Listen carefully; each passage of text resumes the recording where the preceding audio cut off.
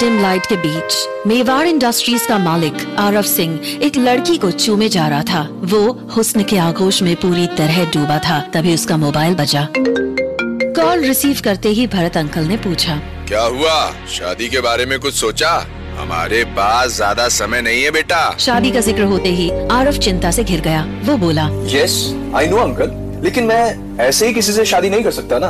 उसी शाम आरव एक बार में बैठा नशे में डूबा हुआ था। तभी एक बार डांसर उसे गलती से टकराई और आरव उसे देखते हुए बोला क्या तुम मेरी कॉन्ट्रैक्ट वाइफ बनोगी? आरव का ऐसा प्रपोजल सुनते ही रागिनी ने गुस्से से उसे देखा लेकिन तभी उसका मोबाइल बजा।